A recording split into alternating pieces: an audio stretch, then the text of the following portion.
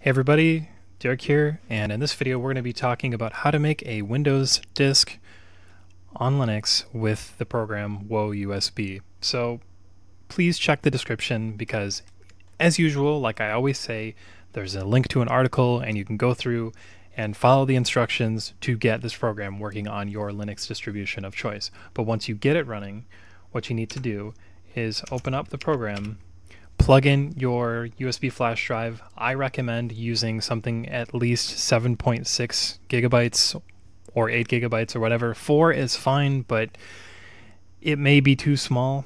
So, general rule just use an 8 gigabyte one. And once you plug it in, you'll see it in the program right there. Now, if you have a physical copy of Windows and it's on a CD drive, all you got to do is click this option and put it in your disk drive and then click install. We're going to use an ISO file because that's how most people install Windows in 2017.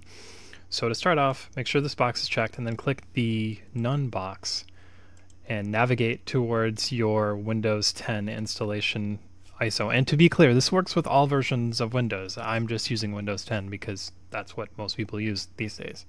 Once you've got the ISO, just click the install button and you'll be asked to enter your password. Do so and then click the OK button.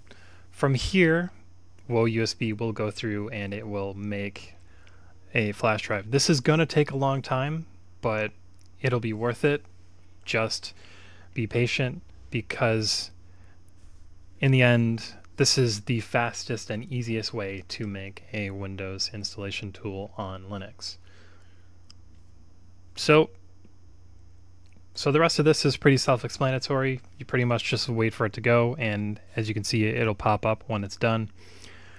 I'm going to get going, but if you're looking to make an installation disk on Linux for Windows, WoeUSB is not a bad way to go.